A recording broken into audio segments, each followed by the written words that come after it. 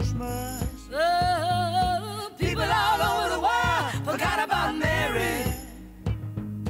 Too busy fighting wars, trying to make it to Mars, searching for light and can't seem to find the right star. Oh, searching for light.